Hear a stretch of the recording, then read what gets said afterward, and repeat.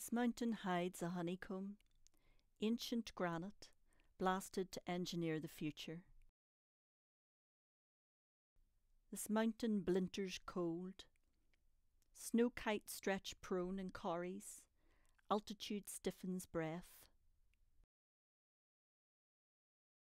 This mountain does not stop.